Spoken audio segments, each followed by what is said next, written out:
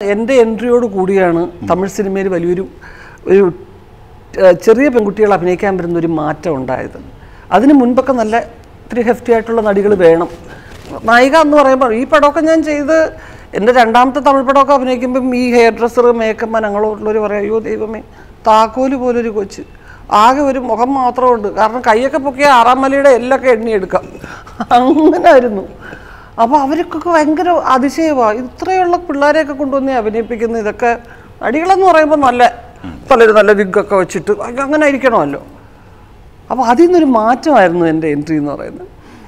അത് അന്നത്തെ നായക നടന്മാരൊക്കെ എന്ന് പറയുന്നത് മുതിർന്നവരായിരുന്നു.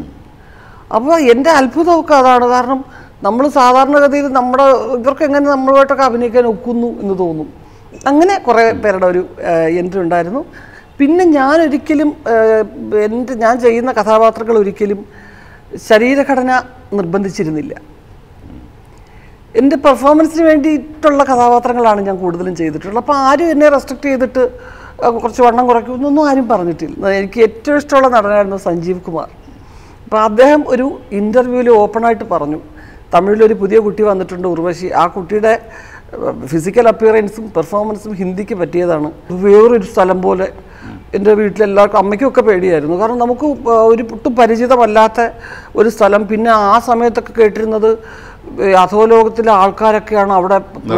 പ്രൊഡ്യൂസ് ചെയ്യുന്നവരുടെ അതൊക്കെ കേട്ടിട്ട് നമ്മൾ പേടിച്ചിട്ട് പോകാത്തതാണ്